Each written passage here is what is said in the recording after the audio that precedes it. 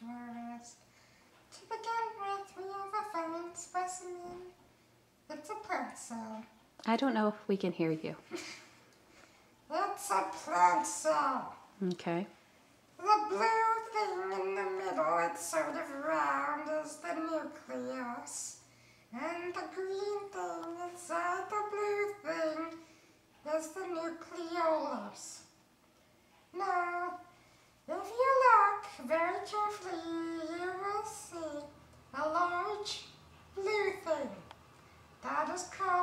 vacuole. And the vacuole contains water and dissolved minerals. You will also see the ribosomes. The ribosomes are the pink things all around the blue things in the center of the plant cell. The ribosomes get a very important job. That's where are made. And then there are the little chubby green things.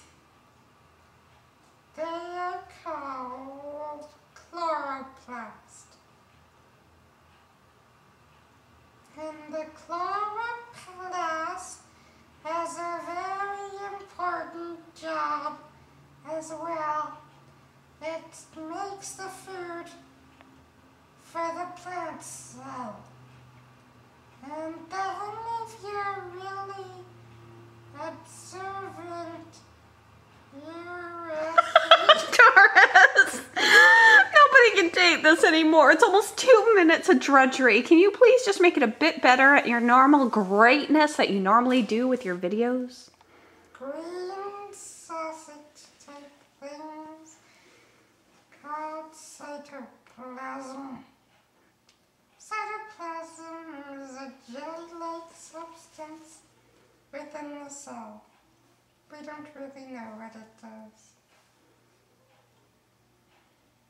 And then there's the Golgi complex. Okay, I don't think we can even hear you. You're not speaking up enough, and this is really boring. no, it's really boring to me too. I'm glad we finally agree on something. Now, if you'll excuse me, I'm late. I need to go to the opera. I'm not